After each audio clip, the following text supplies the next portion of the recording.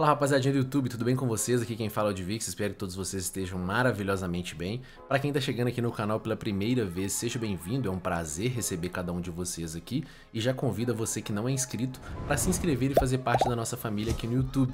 Todos que estão assistindo aí, eu peço que deixem o like, pois fazendo essas duas coisinhas, pessoal, que são bem simples, vocês ajudam demais aí no crescimento do canal e eu fico extremamente agradecido aí com cada um de vocês. Hoje a gente tá aqui no Davis Mu, já trouxe alguns vídeos de Davis Mu aqui no canal. O Davis Mu, para quem ainda não conhece, é uma Season 4 que possui versão mobile multiplataforma, ou seja, com a sua conta ali do computador, você consegue jogar com o pessoal do mobile, você consegue usar a sua mesma conta no PC e no mobile, você não precisa criar contas distintas, o pessoal não é separado. Então é você ter um mundo de oportunidades de versões na palma da sua mão, tá? É um servidor bem cheio, como vocês podem ver aqui. Estou aqui em uma das salas principais aí que o pessoal usa para negociação. Vocês podem ver que tem muitos personagens com lojinhas abertas e muita gente querendo negociar. Tem uma galera mais nubinha, tem uma galera mais indie game, tem uma galera mediana, então tem de tudo um pouco. Aqui no Devil's Mill é um comércio aí bem quente, um comércio bem abrangente. Para quem não sabe, galera, o Davis Mu ele é da mesma administração do Moway. Porém, aqui é uma pegada completamente diferente. Lá no Moway, por exemplo, quando vem um lançamento de uma nova promoção de novos itens, você compra o seu item, equipa no seu personagem e vai tirar o seu PVP. Aqui no Davis não, quando vem lançamento de novos itens, você tem que adquirir aquele item através do drop de box, o item vai vir mais zero, ele vai vir full, mas vai vir mais zero. Você tem que deixar ele mais 13, e as options especiais dele ali, que são as sockets, você tem que conquistar dentro do jogo. Você tem que farmar, você tem que negociar, você tem que colocar elas nos itens, ativar os bônus, ou seja, é um servidor um pouco mais difícil ali do que o Moway. Eu não diria que o Davis é um servidor hard, porque ele não é, mas também acredito não ser um easy, creio que ele está ali no meio termo. Então para você que gosta de PvE, para você que gosta de gastar mais tempo dentro do jogo, para você que gosta de adquirir as suas coisas jogando, para você que curte um farming, o Davis Mu pode ser uma excelente oportunidade para você aí e tá afim de encontrar novos desafios, buscar novos objetivos. É, o Davis Mu ele possui diferentes classes, né? Possui BK, MG, DL, Summoner, etc, né? Todos eles aí possuem a terceira evolução, um servidor aí segue esse padrão de classes, né? Lembrando que o DL e o MG são liberados após você ter level 220 em algum dos seus personagens aí, tá? É, e através desse vídeo, pessoal, eu vou trazer algumas informações, algumas dicas rápidas aí para você que está começando no Devil's Mo, pretende começar e não sabe muito bem qual caminho seguir. Vou passar de forma bem sucinta, tranquilo. Lembrando que essas informações que eu vou dar aqui, pessoal, é, se você pesquisar mais a fundo no Google, dar uma googada aí, pesquisar no YouTube também alguns conteúdos referentes ao que eu vou falar, você vai encontrar diversos antigos vídeos aí sobre Davis Mu, por exemplo, ou sobre o que eu vou falar aqui exatamente, porque o Davis Mu segue configurações aí padrões na maioria das suas coisas, ele segue o padrão ali do Global Online, por exemplo, que é aí, né, é um dos servidores mais antigos que existe e tem muito conteúdo sobre ele na internet, tranquilo? Pessoal, chegando aqui no Davis Moon, acredito que o primeiro passo seja você definir qual que é a finalidade do personagem que você vai criar, qual que é a finalidade da sua classe. Por exemplo, eu, lá no GMO, que é o Global Online, eu tenho uma Summoner. Por quê? Qual que é o meu objetivo? Eu quero ter um char que seja um tanque para PVP. Eu quero amassar todo mundo no PVP. Esse é o meu objetivo. Aqui no Davis Moon, se você tiver esse objetivo, talvez seja bem interessante para você ter um BM ou ter um DL. Acredito que são duas classes ali que o pessoal usa bastante. Mas se você quiser ser um personagem de farming, por exemplo, você pode ser um MG. Se você quiser ser um personagem de suporte, você pode ser ali é, uma elfa. Se você não quer ser nem suporte nem de PVP, você quer ser um meio termo ali, talvez a Summoner seja interessante para você. O mesmo vale ali para o SM. Então tudo vai, pessoal, de qual é o seu objetivo. Pô, Divix, eu não sei muito bem o que, que faz cada classe, não entendo muito bem, como é que eu faço? Cara, dá uma pesquisada sobre o funcionamento de cada uma das classes, assiste algum vídeo, pô, como é o DL no online? Você assiste ali o DL, como é que é as skills dele, como que ele funciona, como que é os atributos dele ali e etc. Tranquilo? Acredito que o primeiro passo seja esse. O segundo passo, pessoal, acredito ser é, você verificar é, qual rumo você quer tomar no Devil's Moon. Você quer ser um personagem totalmente free to play? Você quer ser um jogador que não gasta nada com o jogo? Então você tem que é, é, começar a upar ali o seu personagem nos servidores free. Pô, Divix, eu quero investir uma grana, mas não quero gastar muito. Não acredito que o primeiro investimento que você tenha que fazer no Davis Moo seja de um VIP. Cara, o VIP não é muito caro, tá? Você faz ali o pagamento mensal, o VIP como tem em qualquer servidor. E o VIP, cara, acredito ser uma porta de entrada para que você consiga as coisas de uma forma mais tranquila, que você consiga avançar ali é, de forma mais rápida. É, por quê? Nos servidores VIP, galera, o farm é melhor, o XP é melhor, a quantidade de monstros é melhor e acredito que a competitividade por spot também é menor. Independentemente se a pessoa usa mais de uma conta ali para fazer um farm etc, vipar todas essas contas é um pouco difícil. Então acredito que no servidor VIP seja bem interessante de você fazer o seu farming, fazer o seu up ali, para que você consiga progredir de forma mais rápida. Lembrando que o VIP, galera, não é é uma obrigatoriedade para jogar o Davis Move, você consegue jogar sem o VIP normalmente, mas se você quiser poupar o seu tempo, quiser progredir de forma mais rápida, o VIP é uma excelente oportunidade e acredito eu ser o primeiro investimento que você deve fazer no seu personagem. Não adianta você chegar no jogo, entrar na loja X, sair comprando um monte de box, um monte de coisa ali que dropa itens que você nem sabe o significado e que você não vai usar por agora. Então o VIP acredito ser o primeiro ponto aí e muito importante aí para você. Tranquilo? Depois, galera, acredito que seja importante você partir aí por farming, tá? Partir para o farm é muito importante, você vai farmar as suas joias, você vai farmar ali os itens iniciantes que vão te possibilitar negociar e através desses itens aí você vai é, conseguir ir crescendo dentro do jogo jogando, conquistar o seu primeiro set, seu primeiro set 380, utilizar ali um item anciente, que é um item mais iniciante, né? É, então acredito que fazer o farm é muito importante. O Davis Mu ele tem essa opção aqui bem conhecida, que é o Mubot. Então você clicando aqui, você consegue configurar ele com a skill de ataque que você quer direitinho, o que, que você quer que ele faça. Aqui no obter, galera, você marca aqui os itens que você quer farmar, né? Tem que marcar essa caixinha aqui, ela vem desmarcada por padrão. Você marca ela, tá certo? Marcando ela aqui, ela vai obter tudo isso aqui. Zen, você não precisa se preocupar. Por quê? O Zen, basta você digitar barra Zen que ele sempre vai completar ali para um bi, tá? Um bi, bi, bi, sei lá, que número é aquele ali. Parei para pensar nisso. É, então o Zen não precisa ser farmado, o Zen é bem tranquilo de ser adquirido, basta você digitar aí barra Zen. E obtendo esses itens aqui, pessoal, principalmente aqui o Dark Horse e o Dark Spirit, que são utilizados aí para criação do Horse ali, do Corvo, né? Que é utilizado pelo DL, são itens que tem um comércio ali. Você coloca para fazer esse farm aqui, e quando você não tiver no computador, né? Que você estiver deixando o personagem upando ali sozinho, ele vai é, conseguir aí fazer o farm disso aqui para você, tranquilo?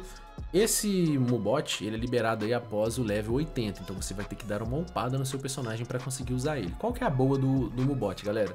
Cara, se você não tiver no PC naquele momento, você ativa um Mubot e deixa ele ali dando uma upada, dando uma farmada para você, e você vai evoluindo mesmo sem estar jogando, porque o Davis Mu não tem off attack. O que, que seria off attack? É, pelo que eu entendo de off attack que eu já vi em alguns servidores, é quando você coloca o seu personagem para upar ali você tá off. O PC tá desligado e o personagem tá upando. Isso aqui não tem no Devils Mu. Então você tem sempre que deixar o personagem ali ligado, né, logado no, no jogo, e você pode ativar o Mubot. O Mubot aí é uma excelente coisa para você usar aí, né? É, pessoal, posteriormente, quando você for evoluindo no jogo, é você ter um entendimento sobre a sua build. O que, que seria a build? Como que você vai distribuir os seus pontos. Aqui não existe status full, tá? Você não consegue adicionar ali, como na Season 4, por exemplo, que é bem tradicional, 65 mil pontos ali em cada um dos atributos, ou na 97D que você distribuía 32 mil ali em cada um dos atributos. Aqui no Davis Mu não, os personagens têm um limite de pontos, tá? Por exemplo, o DL, ele tem um limite de 100 mil pontos distribuídos, porque ele tem um comando aqui, né? Então você tem que adicionar, é 100 mil ou 90 mil? Acho que é 90 mil. 90? 100 mil, acho. 100 mil, 100, não, 90 mil, 90 mil. 100 mil é pro DL, é isso. Aí, galera, você vai pegar os seus pontos e vai distribuir aqui, tá? Então você tem que entender como que funciona ali a build. Você tem que adicionar os seus pontos. Pô, quero adicionar em força, vou adicionar em agilidade. Você vendo, vai vendo como que o seu personagem vai se comportando. Depois, se você vê que você não está gostando de uma build, você usa o comando, né? Barra rebuild stat. Aí ela vai ali, né? Fazer a rebuild do seu, da, do seu C ali, né? Você vai conseguir redistribuir os seus pontos. Então, ir entendendo um pouco sobre a build e ver o comportamento do seu personagem à medida que você adiciona pontos é bem legal, é bem interessante para que você consiga ter um bom desempenho dentro do jogo. Outro ponto importante, pessoal, é ter atenção aonde você vai upar. Pô, tô começando agora, onde que eu vou upar? Cara, você tá começando agora?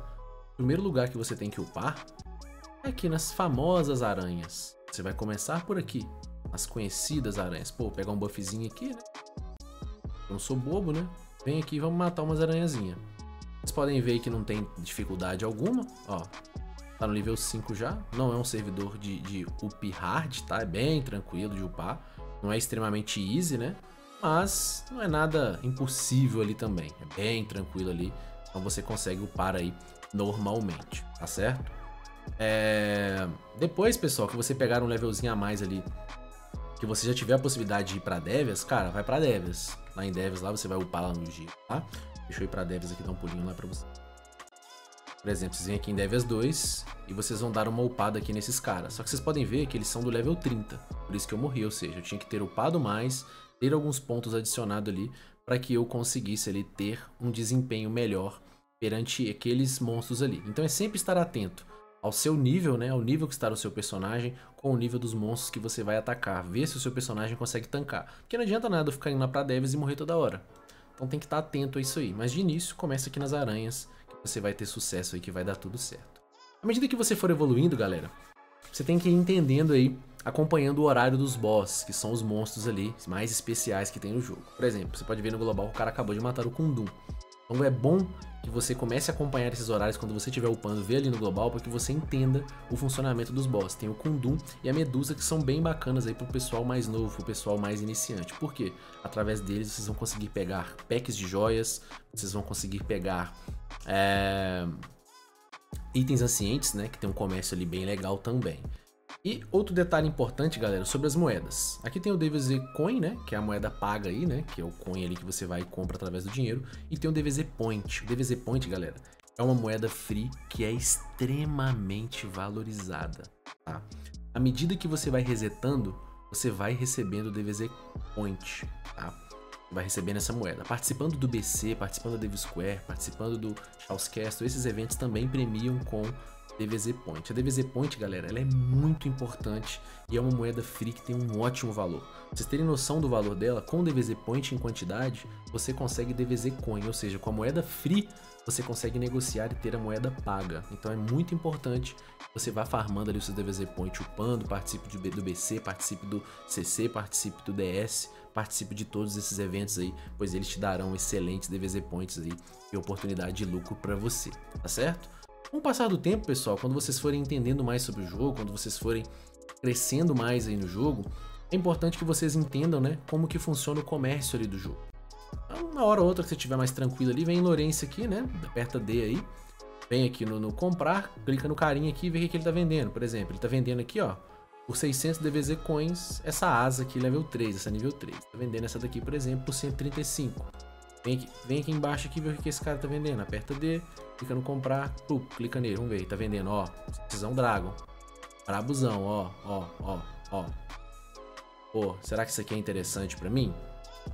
Então assim, à medida que você for crescendo ali no jogo, que você for tendo ali coisas para negociar, é importante que você tire um tempo para poder entender sobre o jogo. Galera, é, acredito que essas são algumas dicas rápidas que eu tenho aí pra vocês, tá? Não tem como me aprofundar muito nesse assunto, sobre como que você deve jogar, e acaba que a gameplay é uma parada bem individual. Mas essas coisas que eu falei, elas podem ser utilizadas para vocês. Vocês podem correr atrás aí de qualquer um desses assuntos, qualquer um desses temas. O Davis Moon não é difícil, não é complexo. Obviamente que ele não é um servidor tão easy, né? Mas você vai jogando ali com um mês, um mês e meio mais ou menos, você vai conseguir ter um entendimento bem ok aí sobre o Davis Moon. Você vai conseguir aprender um pouco sobre o Davis Moon. É, acredito que o Davis Moon, para quem gosta de PvE, é uma excelente oportunidade, principalmente por causa da administração dele. Como você sabe, o Maway é um projeto sólido que está indo por 16 anos já. E o Davis Moon, a tendência é que siga esse mesmo caminho. Então, se você ali quer um servidor de, confian de confiança, onde você pode ali, por exemplo, comprar um VIP, comprar algumas moedas, sem aquele sentimento de incerteza se amanhã, quando você entrar, o servidor vai estar on, Davis Moo é uma excelente oportunidade para você, tá? Se vocês tiverem dúvidas, pessoal, ou alguma coisa que vocês queiram saber, vocês podem deixar aqui nos comentários, tá? Não sou nenhum gênio em versão Seasons, estou aprendendo ainda aos poucos, tenho muito a aprender, mas vocês podem deixar aqui nos comentários dúvidas, perguntas que vocês queiram fazer sobre o Davis Moo. Se eu não souber, eu vou pesquisar com quem sabe e trago a resposta no seu comentário, tranquilo? Então, juntos a gente vai aprendendo aí cada dia mais. Então, e fiquem abertos também os comentários para vocês deixarem algum feedback, algum comentário se vocês jogam Devil's Moo ou não. Enfim, é isso, rapaziada. Quem quiser jogar o Devil's Moo, bora começar aí a sua jornada e se divertir adoidado. Tamo junto demais, rapaziada. Um forte abraço do Divixada. Valeu, falou, fui.